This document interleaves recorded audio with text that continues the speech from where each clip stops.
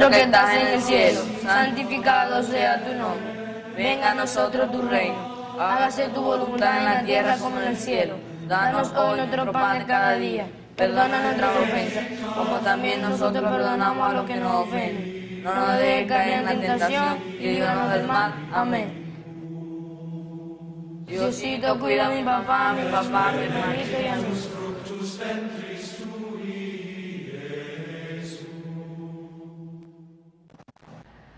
Amigas y amigos del programa A Ocho Columnas, bienvenidos, bienvenidas de nuevo con todas y todos ustedes.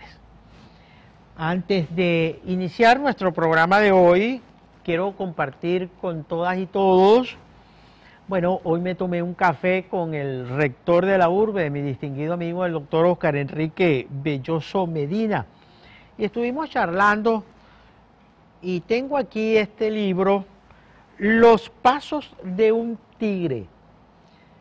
Voy a, leerlo, les confieso que yo no, no, lo he leído.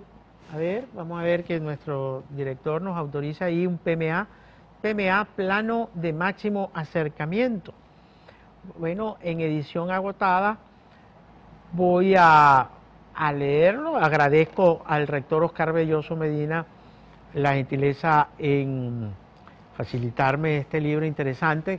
Oscar Belloso está arribando a 80 años próximamente, Dios mediante, el próximo 6 de noviembre, cumplirá 80 años y vaya que hay todo un legado que comentar.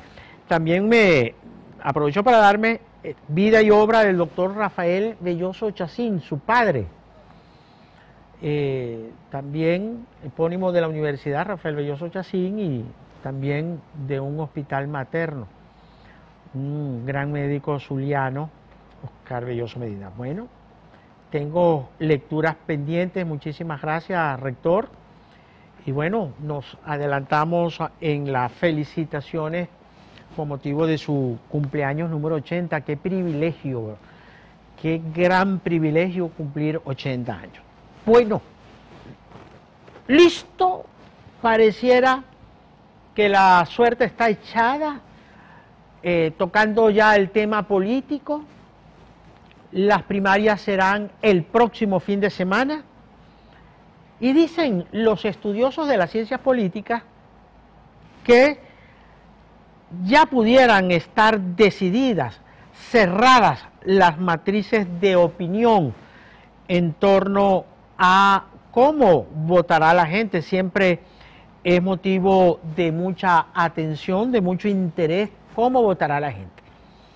Vamos hoy, antes de iniciar nuestra entrevista con el distinguido profesor Julio Ribarrí, profesor de pre y de posgrado, analista político, encuestador, hay dos estudios de opinión que han sido presentados este fin de semana.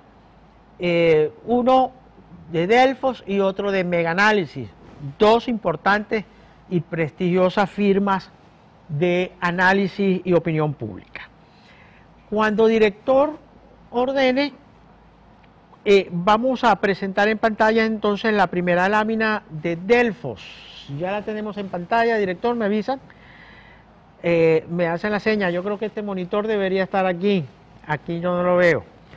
Bueno, eh, intención de votos de primaria de la oposición. Veamos entonces, ven en pantalla, ven en pantalla Delfos, le da a María Corina Machado 86.6%, Enrique Capriles 8.2%, ya Enrique se retiró, Carlos Prósperis 2.1%, Delsa Solórzano 0,0%, mi alma, ¿esto es posible en un estudio de opinión? Que alguien saque 0,0. Se lo vamos a preguntar a nuestro invitado, tome nota por ahí. Freddy Superlano, que también se retiró, 2.1.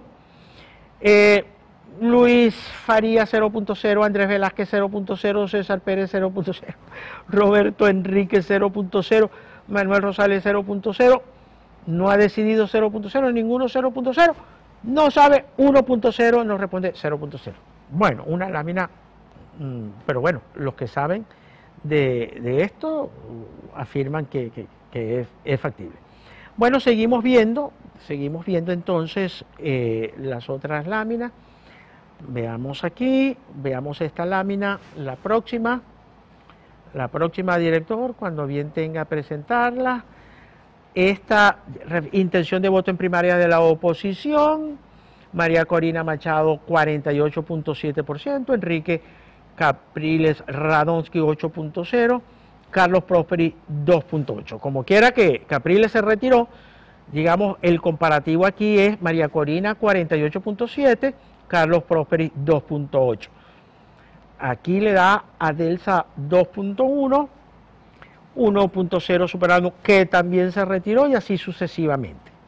Y vamos con una tercera lámina de... Eh, no, ya la, ya, ya la leímos las tres, ya leímos las tres, presentemos rápidamente. Vayamos a la encuesta de mega análisis. Vean ustedes en pantalla esta lámina de mega análisis. ¿Ok? Dice la pregunta, ¿usted iría a votar a las primarias de oposición del próximo 22 de octubre? Una pregunta abierta. ¿Qué tan seguro se siente usted de votar en el, próximo 22? Y aquí están los resultados de el estudio. El resultado del estudio no está seguro, lo que ustedes ven en rojo, lo que ven en verde está muy seguro de votar y bueno, en el otro color no sabe. Sin embargo, eh, de pronto este no sabe en 49.4 está muy alto. Eh, Julio, 37. Bueno, esta es una de las encuestas. Y la otra lámina de mega análisis, intención de votos de voto opositor en las primarias, vean ustedes, le da a María Corina Machado la primera opción, 46.8%, entre ninguno y no sabe, hay una proyección de 29.6%, pienso que algo alto, casi 30%. 6.3 Capriles se retiró, 5.2 Carlos Prósperi sigue en la carrera, Delsa Solórzano 3.7, Andrés Velázquez sigue, César Pérez Viva 2.9 sigue, 0.9 Roberto Enríquez, Freddy Supernado se retiró 0.8 y cinco candidatos restantes suman 0.3%. Bueno, eh, son estudios mucho, mucho más largos que mm, han sido presentados el pasado fin de semana, seguramente durante el transcurso de esta algunos otros estudios serán presentados. Una gran expectativa. Hay algunos escenarios políticos y hoy en nuestro programa vamos a conversarlo con un profesor universitario de mucho, de fuste, un profesor conocedor del tema político, porque bromeando, y perdonen el término coloquial, a veces la política es más rara que un perro azul. Es una cosa terrible de comprender. Pero ya las primarias deben realizarse, para el momento de esta conversación siguen agendadas las primarias, así que vamos a tratar de hurgar en los distintos escenarios políticos. Ustedes eh, pueden expresar su opinión, vamos a, a ver la posibilidad, Rixibel Rivas, nuestra jefa de producción, y colocamos el número de teléfono para que ustedes puedan enviar su mensaje de texto. ¿Ok? Entonces, yo creo que vamos al corte, vamos vamos a escuchar el saludo de nuestro invitado, vamos a escuchar el saludo de nuestro invitado y desarrollamos entonces la noticia a partir del próximo negro. Profesor Julio Rivarri, gracias por estos minutos con nosotros. Bienvenido al programa Ocho Columnas. Tenemos tiempo que no conversábamos. Sí, señor, y lo vamos a hacer en grande. Bueno, excelente este noche para todos. Gracias, Rafael, por permitirme pues este espacio tan, tan eh, visto por la colectividad zuliana y en otras partes del país, eh, incluso fuera del país. Muy buena referencia a este programa y, este, y es el transmisor de todas las inquietudes que a diario suceden, no solo en política, sino en todos los aconteceres que son de interés colectivo. Gracias una vez más y esperamos hacer un excelente programa eh, eh, con lo de las primarias, sobre todo, que es el, eh, profesor Julio, porque este, este es un país, yo lo veo altamente político. Eh, la política interesa a todos. Y yo siento que eh, en este momento, aunque muchos dicen que la gente no está pendiente de la primaria porque está pendiente de la luz, del agua, la gente está pendiente de todo. Está pendiente de, de la luz, del agua, de todos esos problemas, pero sí está pendiente también de lo que ocurre en un país altamente político donde la política interesa a la ciudadanía. De tal manera que yo no lo veo eh, de manera distinta. Eh, y creo que eso se ha dicho en, varios estudios, inclusive un estudio de la, de la UCAT, de la Universidad Católica Andrés Bello, arrojó algunos datos sobre este tema. ¿Piensas tú que somos un país altamente político? No, claro, indiscutiblemente que el interés existe y sobre todo cuando hay una eh, una situación económica tan terrible que la gente busca esperanza, ¿no?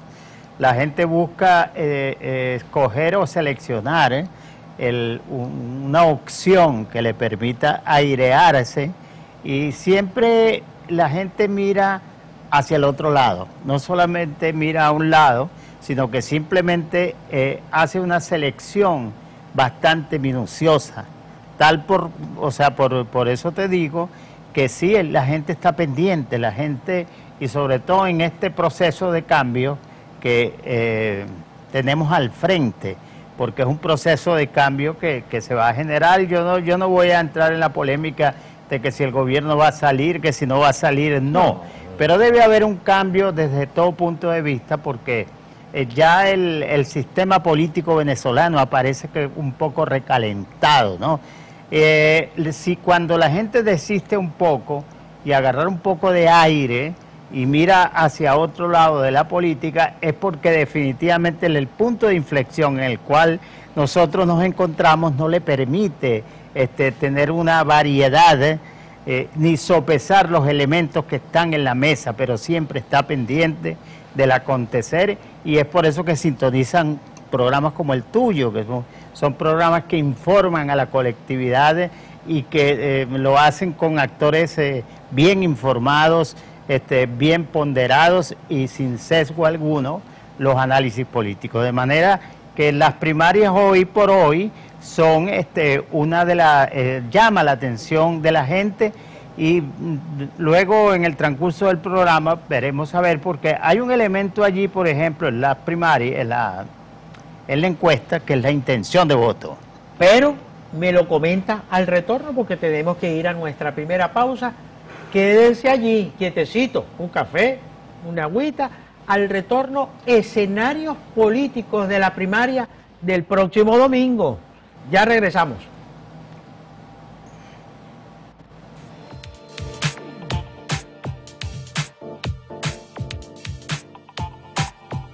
Ya regresamos con A Ocho Columnas.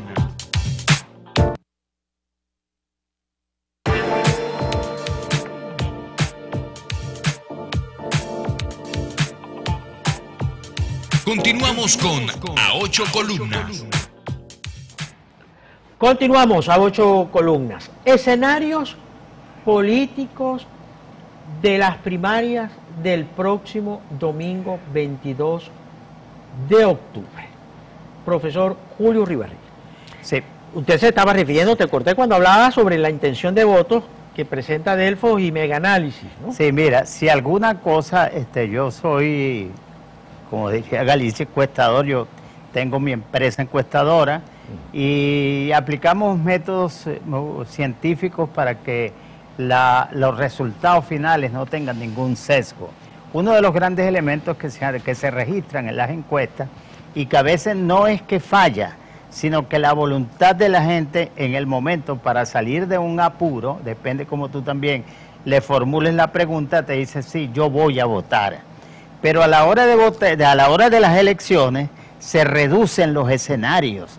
Primeramente porque hay como una especie de, no lo vamos a calificar de flojera, pero se produce como una apatía y es cuando entran las maquinarias a formar parte de un posible resultado que pueda orientarse este, bajo un aspecto de la ausencia de la espontaneidad, porque no es lo mismo este, la participación que la movilización. Tú cuando estás participando lo estás haciendo a motus propio, te estás moviendo tú mismo, estás motivado por una acción que te ha convencido de que debes hacer uso de tu voto para cambiar este, algunos, eh, algunos escenarios que no te convencen. Y la movilización está para las maquinarias políticas. pase a la sala de redacción. No es lo mismo la movilización, que la participación. Que la participación, coma, dice el profesor eh, Julio. Exactamente. Entonces, a, ver, entonces creo que me quieres decir que es posible, porque ya te lo iba a preguntar. yo siempre creo que las encuestas son un candidato más de la contienda electoral. Si se equivocan o no se equivocan, la gente está muy pendiente de ver qué empresa encuestadora fue asertiva. Y regularmente cuando las encuestas no están, digamos, en sintonía con el resultado electoral, dice, bueno, ahí pasó algo.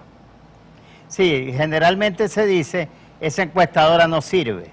Yo creo mucho en la seriedad de la... Porque le pagaron y todo. Porque le pagaron y entonces para, el tipo le puso una coma para, para dividir al otro y etcétera, etcétera porque hay una cuestión que es muy ética en las encuestas, que a ti te contratan para hacer este, para obtener algunos datos, algunos resultados que le interesan, desde el punto de vista de, una, empresa, empresa, una encuesta empresarial, una encuesta política, y cuando tú generas esa información a través del procedimiento que se utiliza, que es una investigación de campo con carácter científico, empleando una metodología que muy poco falla, pero al generar esa información, inmediatamente eh, esa, el contratante recibe la información, yo eh, ellos verán si uno como consultor político puede hacer uso de ello o no, pero realmente es así. Entonces para mí las encuestas no es que no fallen,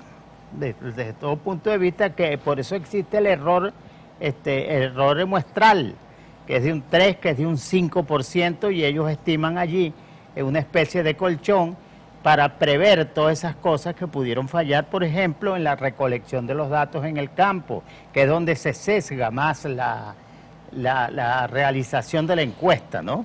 Cuando estás recolectando datos, porque después viene el procesamiento, es decir, es un proceso eh, metodológico, científico, que te da datos casi seguros pero donde más tiene eh, o se presenta cierta dificultad es en la intención de voto. Porque yo he hecho encuestas donde el 52% me está diciendo que va a asistir a las mesas de votación y va a, depositar su voto. Y después cae más o menos un 25% es, el, es el que se moviliza. O sea, no es culpa del encuestador, sino que parece que es una cosa cultural. Mira, recuerda que en el mejor momento de Hugo Chávez Frías, que indiscutiblemente fue un líder en este país, este, en el peor de los casos, cuando él fue solo, que no fue la oposición venezolana, el 25% se movilizó. La gente a veces es muy cómoda. La gente, por ejemplo, cuando hay se dedica a ser supervisores ad honorem de los procesos y hasta se les olvida que van a votar. Se van a su casa, hacen una parrilla, en fin, este, eh, disfrutan, porque realmente disfrutan las elecciones, el proceso, están pendientes, porque están pendientes, pero se les olvida que lo importante que significa la herramienta del voto. Por eso es que es importante la participación y no esperar que las maquinarias políticas lleguen, te movilizan, te den el ki, acostumbrado, el agua, el sanguchito y una dolita por ahí. ¿Me entiende? No, muévase, usted vaya a votar por quien usted crea conveniente. Por ejemplo, en el caso de las primarias, eh, por, eh, por quien usted crea conveniente. Todo indica, porque esas encuestadoras son muy serias, que María Corina Machado, o sea, el triunfo de ella es irreversible. Tendría que venir algo sobrevenido para que María Corina... Un cisne negro, como sí, un echado negro, y yo creo que eso ahorita no, ese cisne todavía no está ni siquiera emplumado, ¿no? ni siquiera este, ha echado, tiene puros cañoncitos. Entonces, ¿Por qué? Porque hay una cosa, Galicia, que la conversamos extra programa, que falta más de un año. Faltan Y para la 14 carrera. meses para un proceso. Claro. Tú sabes el tiempo que corre, Son- hermano. son una eternidad. Tú no puedes, mira, tú no, yo no soy adivinador para, ni tengo una bola de cristal para decir, bueno, lo podemos decir porque hay un muestreo científico, como te digo, con un rigor científico importante para determinar que es imparable. Eh, por ejemplo, la sintomatología que tú ves los últimos días de las elecciones, por ejemplo, el caso de Superlano que se retira, aun cuando tiene un mínimo de votos, pero es significativo, ¿no? Se pudiera generar un consenso de este lado, pero de aquel lado también están buscando un consenso Pero por fíjate, aquello de las inhabilitaciones. eh, el retiro de... Te pregunto, eh, ¿podemos analizar de manera diferente el retiro de Capriles y el retiro de Superlano, ambos inhabilitados? Me gustaría tu opinión. Claro, mira, ¿Son este, distintos? ¿Por qué? No, yo no digo que son distintos, tienen diferentes bemoles, ¿no? Pero realmente, mira, yo creo que por la, yo no sé, no he visto declaraciones salvo la locución que dijo Capriles cuando se iba a retirar, pero de allí se puede inferir que Capriles veía venir eh, un- una derrota, ¿no? Por un lado. Por otro lado, vamos a apelar a- al sentido democrático de Enrique Capriles, que es un hombre curtido de verdad y que este, se ha hecho excelentes campañas electorales. Yo fui de los que creí que Capriles iba a remontar, pero de pronto él se da cuenta, mira, una campaña electoral produce desgaste en recursos económicos y físicos. Y yo creo que hasta el mismo Capriles no es el Capriles aquel desde hace 10 años. Todos esos factores tienen que ponderar y finalmente la decisión es de ellos. En el caso de Superlano, que ya él acusa y dice, me retiro porque María Corina va a ser la ganadora. ¿Me entiendes? Son casos que pudiéramos decir que eh, tienen bemoles, pero van, este, eh, pero lo vemos desde el mismo enfoque y de la misma perspectiva. Pero trato de comprenderte, Julio, si eh, la renuncia de uno y la renuncia del otro pudieran tener diferencias que le permitan a ellos una recuperación política. Porque Capriles se retira, no apoya a nadie. Superlano se retira, anuncia apoyo. Eh, hay allí flotando una especie de, de sentimientos de los electores.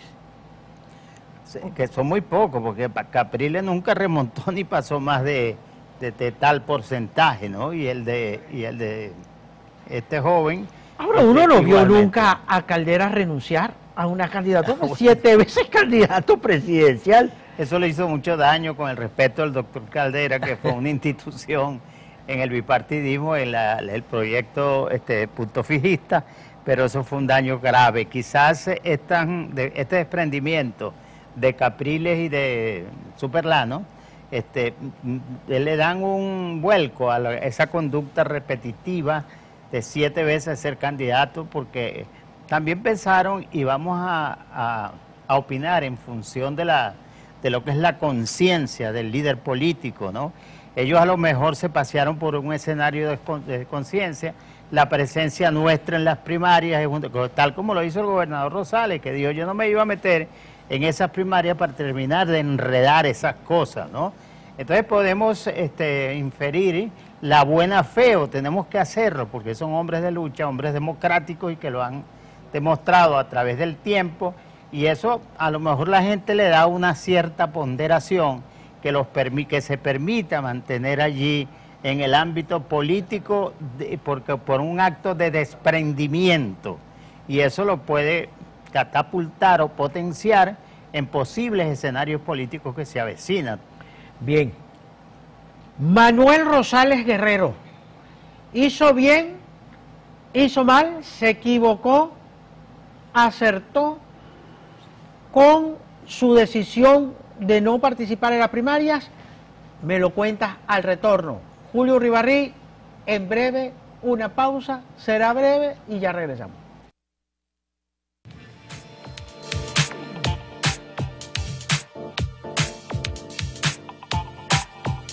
Ya regresamos con A Ocho Columnas.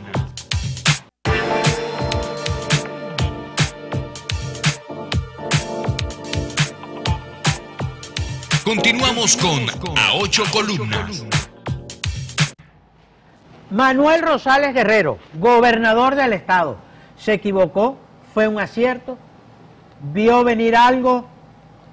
¿Cómo analizar la decisión política del gobernador Rosales, siendo un líder muy importante del país, sin duda alguna, eh, que el gobernador del estado eh, veía venir algo. ¿Cómo analizarlo?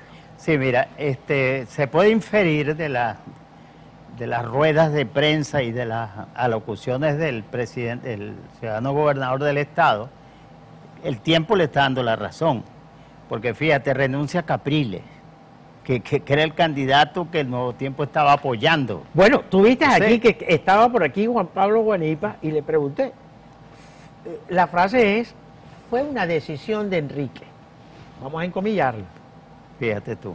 ¿Qué significa eso? sí. Bueno, después del 22 lo analizamos para... exactamente. Entonces, este, por lo menos los argumentos que el gobernador este, escribe y, realmente pues uno lo acompaña en esa decisión que es muy, eh, eh, no de, de Manuel Rosales, sino del colectivo del Zulia cuando él dice yo tengo un compromiso con el Zulia.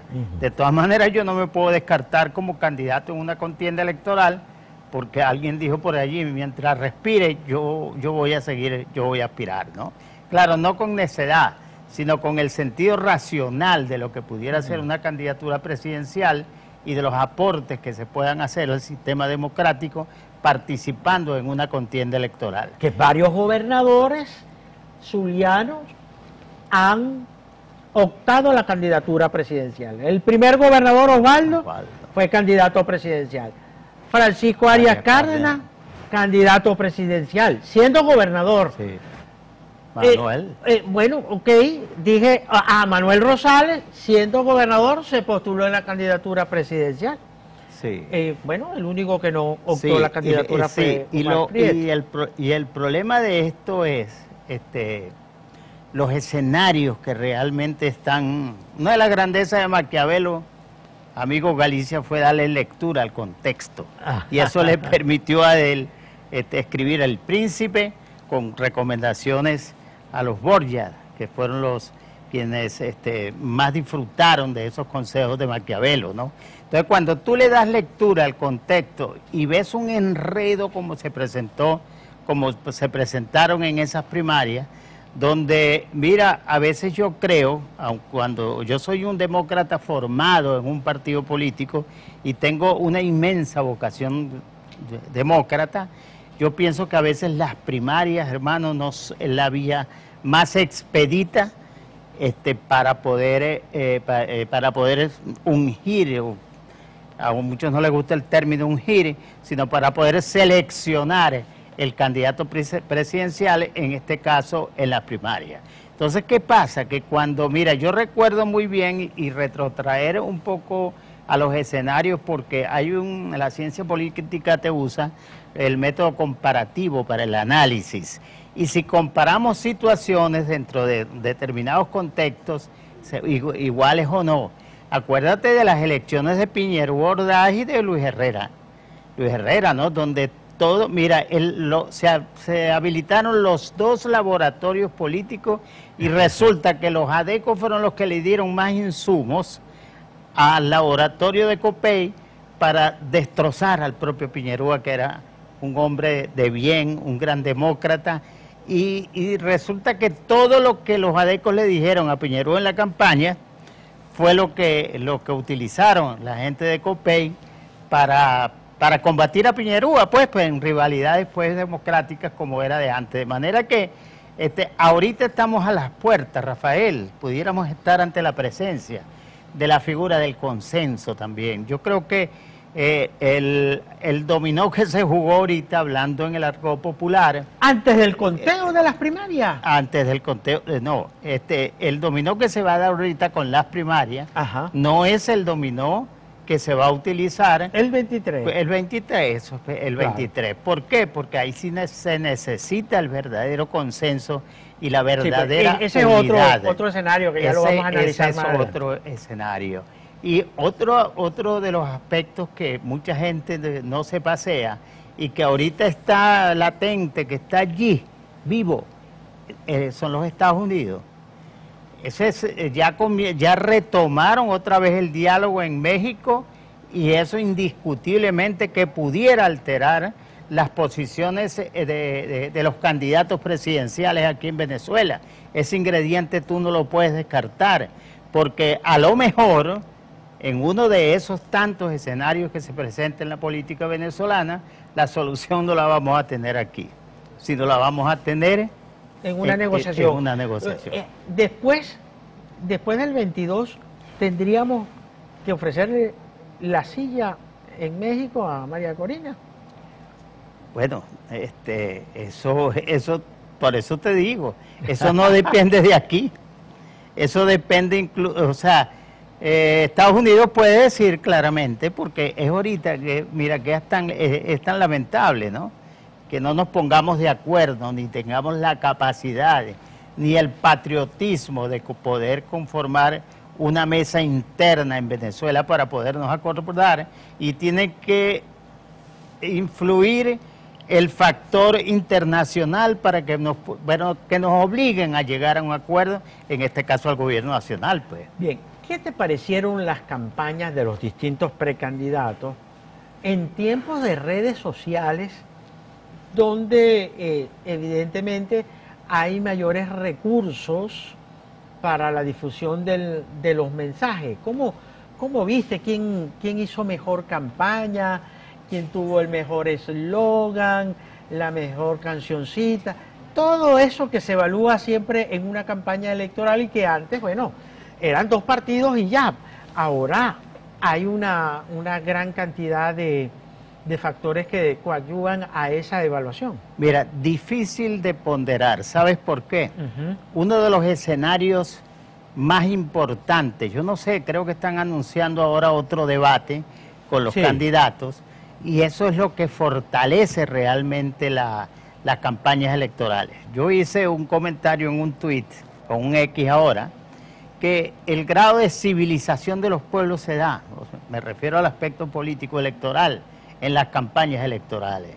Cuando tú ves que no hay una campaña de propuesta, que no hay, este, María Corina ha hecho algunos esfuerzos allí por, por lograr que, se le que la percepción del pueblo venezolano sea de candidata presidencial, ha hecho algunos esfuerzos, pero no ha conectado lo suficiente como para este, eh, ungirse como una personalidad, como como figura presidencial, esa es la gran verdad.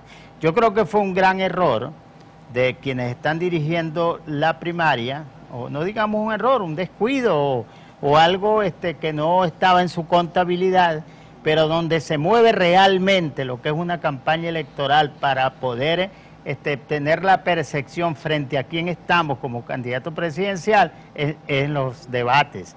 Mucha gente dice no fue un debate no importa, no fue un debate, pero fue un encuentro solidario, importante, que se, y, dieron la sensación realmente de unidad allí. Entonces, eso es lo que lejos, pues, Rafael, de aquello de, los jingles, de esas cosas que amenizan muy bien y que son tan importantes, el marketing político en las campañas, yo creo que la oposición venezolana tiene que centrarse más en una propuesta de país y, perdona que diga que, tome otra vez de los pelos a la generación del 28 para decir que ellos confeccionaron un país importante, este, le, dieron lectura a lo que había e hicieron la Venezuela esta de hoy. Hoy en día no hay nada, hoy, hoy en día no hay propuestas que el venezolano pueda este, ponderar, ¿no? Y a lo mejor, y yo le pido mucho a Dios que así sea, porque eh, independientemente que, que quien quede, yo pienso que debe haber una alternabilidad en el poder, de haber un cambio, este, y en función de eso los cambios no pueden ser quítate tú para ponerme yo. Creo que al país hay que venderle propuestas importantes y, los jefes de campaña y los comandos de campaña deben ir trabajando sobre... Eh, bueno, fíjate que eh, tanto María Corina como Carlos Prosperi hicieron presentación de propuestas. Carlos Prosperi presentó un programa hace meses eh, de una propuesta de gobierno y María Corina a través de un video entiendo la Venezuela de lo posible o algo así. Es decir, estos dos candidatos hicieron propuestas concretas, eh, digamos, para cumplir con esta, con esta rutina. Los otros veo que actuaron con mucha mm, generalidad en cuanto a este tema. Bueno, vamos a una nueva pausa. Estoy conversando con Julio Urribarría, analista político, ya venimos.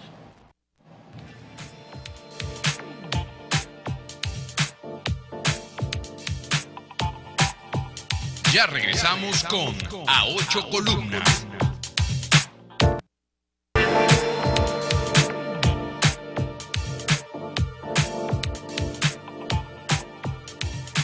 Con A Ocho Columnas. Bueno, cerramos, cerramos nuestro programa Ocho Columnas. Bueno, eh, renunció entonces eh, Superlano, Capriles, eh, Roberto Enrique, también eso de renunciar y no dejar un apoyo a alguien, no sé, yo no lo, yo no lo siento claro. No, no está ni claro, ni creo que, yo no sé, me disculpan, pero es poco serio. Poco serio, ¿por qué? Porque este, da la impresión que están a la saga, ¿no? De un entendimiento político, de, un de aquí al domingo, ¿verdad? Pudiera ser un entendimiento político posterior, posterior a las primarias. Aquí, hermano, este, una de las cosas que que ha perjudicado mucho a, los partidos políticos, a los actores políticos, son los intereses que se juegan en las campañas electorales. Entonces ya la gente siente eh, cierta incertidumbre, cierto recelo político. Cuando tú renuncias, ¿no? Entonces la gente piensa lo peor. Yo no quiero decirlo. sí, sí, sí. sí, no quiero decirlo porque no quiero ser tan este, pero, pero es así. A veces, a veces perdiendo se gana y ganando se pierde. Este, este, este es un tema. Ahora bien, eh, lo que queda porcentualmente de candidatos no compromete el favoritismo de María Corina. Casi que quedan María Corina y, Carlos Prosperi, solamente. Eh, pudiéramos estar en presencia de un plebiscito, estar en presencia de una aclamación, una, un triunfo por aclamación. O pudiéramos estar ante la presencia también de que estén jugando el fracaso de las primarias. A eso voy, correcto. No, no te he preguntado tu expectativa en torno a la participación. Con la advertencia al pueblo de que aquí en este país, ADEICOPEI escogían los candidatos presidenciales, sus direcciones nacionales. ¿Cuántos miembros eran en la dirección nacional de COPEI? 32 personas. Bueno, 32 personas escogían el candidato presidencial. Ahora hay un abanico de opciones para participar. ¿Tu expectativa en cuanto a la participación? ¿Todas estas renuncias animan o desaniman? No, yo creo que desaniman. Yo creo que estamos ante un escenario porque ya de por sí ya de por sí, aun cuando aparece en intención de voto con, con una puntuación muy alta, la participación, esto poco, pues cuidado y si, si no estamos ante la dinamitación de la, seguimos con esto de la dinamitación de la mesa de la unidad, porque Nuevo Tiempo no ha dicho que va a participar, ellos van a estar en las primarias, lo han dicho, PJ lo ha dicho, pero, pero, pero no sé, queda la incógnita, irán a participar en, esas elecciones, este, eso está allí. Entonces, fíjate, supongamos que hay un universo de electores de 22 millones de personas que posibles o potenciales votantes. Olvídate, hermano, que va a votar el 10% en esas elecciones. El 10% son 2 millones 200, ponte 1 millón 800. Pero eso está bien, obvio. No, es que estaría muy bien que la gente salga a votar. O Pero sea, si votan un pero- millón y pero ale- aleluya, hermano. Votan Pero dos. yo, yo creo, para mí, perdónenme, que yo no creo que llegan al millón de votantes. Que ese es el otro problema frente a esta renunciadera que hay. ¿Y por qué hablo de dinamitación? Sencillamente porque la gente se va a desanimar en, eh, en esas elecciones y no ayuda, no, no, no ayuda. Ojalá, Dios mío, y yo les pido que participen en las elecciones, que vayan a votar por el que sea, por el que les salga de, de su agrado, porque participando es que nosotros, o que se puede escoger un candidato unitario que pueda dar la pelea y allí podremos decir nosotros, de verdad, se está eligiendo el próximo presidente de la República. Pero, profesor Julio Rivarri, también nosotros hemos tenido aquí candidatos folclóricos.